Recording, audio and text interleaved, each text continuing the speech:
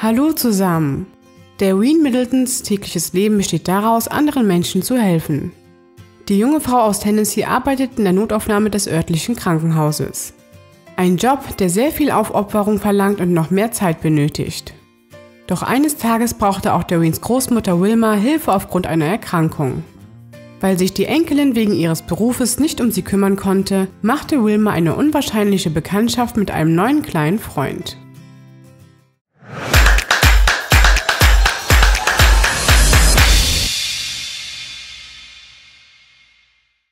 Zwei Jahre ist es her, dass bei Darwins Großmutter Lungenkrebs diagnostiziert wurde. Damals war es ein Schicksalsschlag für die ganze Familie. Doch Wilma gab so leicht nicht auf. Trotz ihres Alters wagte sie eine Operation und ließ sich eine Lunge entfernen. Die OP war kräftezehrend für die alte Frau und es dauerte lange, bis sie sich davon erholt hatte. Sechs Monate später dann der neuerliche Schock. Wilma hatte nun auch noch Brustkrebs. Nun war klar, sie würde Unterstützung brauchen, um ihr Leben weiterhin meistern zu können. Zwar bot Darwin ihrer Oma an, bei sich einzuziehen, doch die alte Frau hatte kein Interesse dran. Schließlich wohnte sie schon seit Jahrzehnten in ihrem Haus und wollte nun nicht mehr weg. Verständlich, denn ein wenig Unabhängigkeit möchte wohl jeder kranke Mensch noch haben. Doch was nun? Darwin arbeitete Vollzeit und studierte nebenbei noch. Sie konnte ihrer Großmutter nicht so oft zur Hand gehen, wie es nötig gewesen wäre. Außerdem musste sie auch regelmäßig zu ihrer Behandlung in die Klinik fahren. Dort kam die wunderbare Nachbarschaft ins Spiel.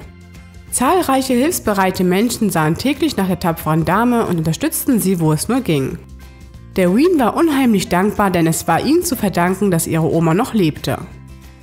Aber es gab einen Menschen, der Wilmers Leben mehr verändert hat als jeder andere. Der siebenjährige Caleb. Es ist die Geschichte einer unglaublichen Freundschaft, die nur das Leben schreiben kann. Trotz des enormen Altersunterschieds verstehen sich die beiden blendend.